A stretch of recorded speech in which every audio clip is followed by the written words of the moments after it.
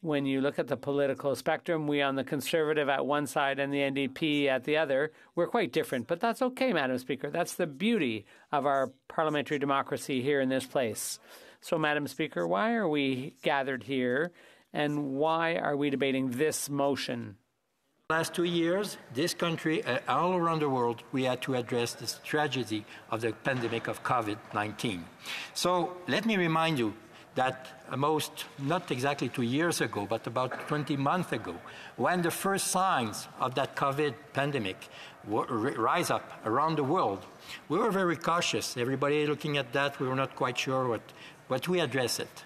And in March, when everything happened here in this country, we have seen, Madam Speaker, and I want to pay all my respect to all those civil servants who, did, who work tirelessly and, 20, and many times 24 hours a day to assure that, yes, we can have a hybrid parliament. Why, Madam Speaker? Because at that time, it was a real tragedy. It was a real strong pandemic situation here in Canada from coast to coast and all around the world.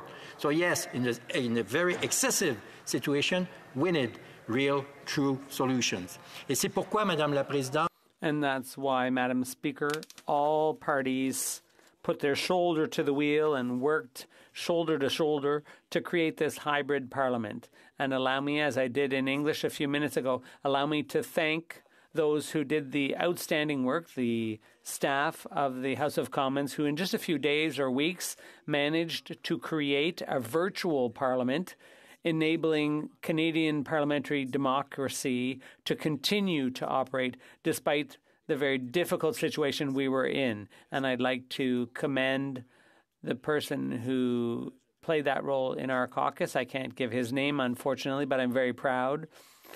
And I was very humble to succeed that person.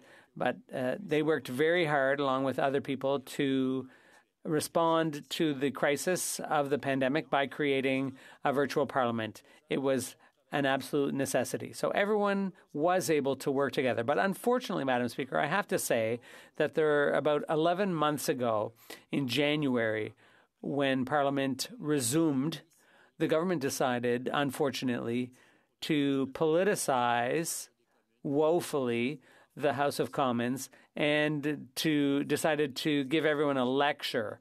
And I'll be very honest and very sincere here. Only one government member was here, the member for Kingston and the Islands, and I'd like to salute him. He was a, a perpetual presence, if you will, asserting the government's authority in this place. And I asked him, why is it always you? Uh, I'd like to ask him, why was it always you?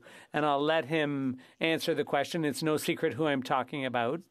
To the colleague from Kingston to Allen who serve in this House as a sole and only soldier of the Liberal Government Party here in the House of Commons.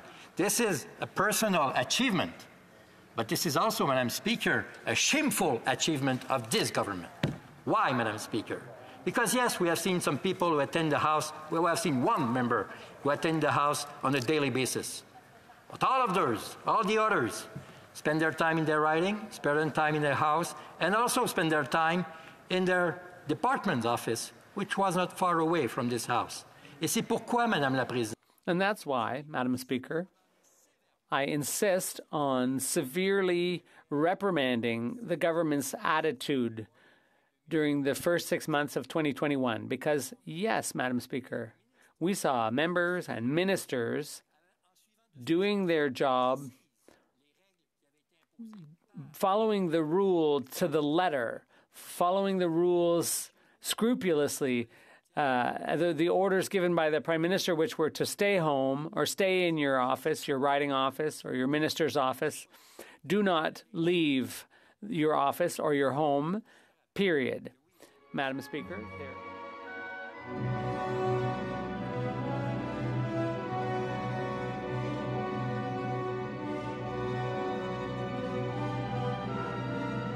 Madam Speaker, yesterday the House saw a very rare but very important moment.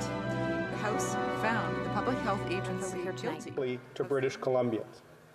I can only imagine the hardship that you and your families have been facing and will be continuing to face in rebuilding efforts. Although roads and railways may have felt that you were cut off from Canada, please know that you will never be cut off from your friends and family in this great country. Our country as a whole is here to support you because that is what it means to be Canadian. In times of trouble, we all come together. When people need help, we are there to serve. From the lower mainland to the interior, when the highways turn to rivers, that's when we saw British Columbians step up with heroic action for their neighbors. People like Henry Chilahitsia, who used a motorboat to lead 29 horses to safety near near freezing and fast moving, moving floodwaters in Merritt. A helicopter pilot from Vancouver Island, Mr. Speaker, sprung into action, delivering badly needed supplies in the mainland before rescuing six people who were stuck in Hope. Cities like Kamloops and Kelowna have opened their doors to welcome hundreds, if not thousands, stranded in British Columbia. Communities have stepped up with heroic resilience, resilience that Canadians have been known for at home and around the world. But it's time that those families know that the rest of Canada is stepping up too. The work of our Canadian Armed Forces, of our first responders on the ground, civic workers, have saved lives and protected property. But the rebuilding effort will require significant federal support and a long term plan and commitment. British Columbians need to know that Canada will be with you for the long term as you rebuild. You need, we're here. You need a united country behind you to help you get back on your feet. And my commitment to you is the Conservatives here in Ottawa will be a voice for you now and in every day forward as we rebuild. We will ensure that no one is left behind and you will get the support you need. Mr. Speaker, we know that one aspect of climate change is more frequent extreme weather. While we must work to lower emissions, we must also work to protect our communities and protect our economy by building resilient communities and dedicating specific infrastructure funding to adaptation efforts. We campaigned on a plan to better prepare communities for the impacts of a changing climate. I spoke to Mayor Henry Braun in Abbotsford a few days ago. I want to thank Mayor Braun and civic leaders like him across BC for their leadership in this time of crisis. Mayor Braun has told me, as other mayors have told my colleagues, about dikes that need rebuilding in Abbotsford, Agassiz, and Hope in Kent. These communities need to know that there is a long term commitment to resilient infrastructure. Conservatives promised to develop and implement a national action plan on floods, including a residential high risk flood insurance program so that Canadians can rebuild. Our plan also included developing a national climate adaptation strategy incorporating directly mitigation and adaptation lenses to all infrastructure projects. And we ran and committed on appointing a national disaster resilience advisor to the Privy Council office so that expertise is just down the hall from the Prime Minister whenever emergencies happen. And for a government that is known for lots of talk and little action, I welcome them to steal any of our ideas as we need to rebuild British Columbia, Mr. Speaker. We will advocate for these important measures. Conservatives will be watching to make sure the government takes concrete action to protect the lives and livelihoods of Canadians. Let's work together to protect our country. Grâce aux investissements du gouvernement Thanks to the precedent conservative government's investment in the military, our men and women in uniform are able to deploy many troops, supplies, and equipment. Minister of Public Safety, for working with Conservative MPs and all MPs in our federal response. I respect that, Mr. Speaker. But the Liberal government also needs to be crystal clear when it comes to promises they make to Canadians who are in crisis and are worried. This past weekend, the Liberal minister was telling BC residents that they could cross the U.S. border to buy essential supplies without needing a COVID 19 test. But now we're hearing reports that flood affected Canadians were fined over $5,000 for not taking the test before they returned home. British Columbians cannot afford this type of confusion, and I sincerely hope that the minister moves to correct this situation. Mr. Speaker, I'm incredibly proud of my colleagues in this House from British Columbia who've been actively supporting their constituents and partner levels of government. The member for Abbotsford, Mission Matsqui Fraser Canyon, and all of our MPs, including the MP for Chilliwack Hope, who's remained on the ground helping coordinate efforts with our members here in Ottawa.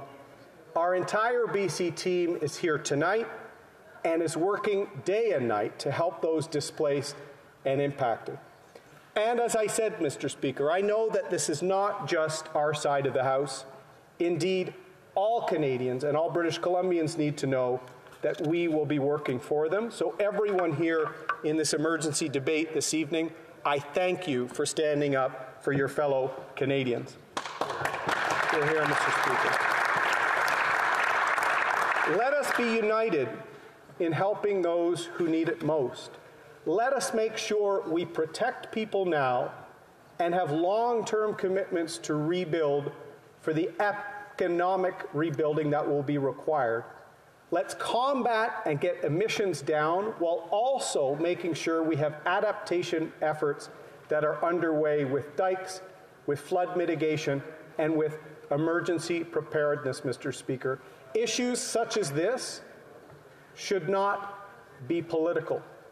We need to make sure that the Prime Minister and Privy Council office has the ability to rapidly address the needs of the nation, addressing the use of the Canadian Armed Forces including with more direct Army engineering capacity on the ground in British Columbia, something that's really been deprived for the province since a Liberal government in the past closed CFB Chilliwack, Mr. Speaker. So let's make sure we build that capacity, we work together, and we send a clear message to British Columbians tonight. We're here with you today, tomorrow, and to the last day of the rebuilding because we need a strong British Columbia for a strong Canada. Thank you, Mr. Speaker.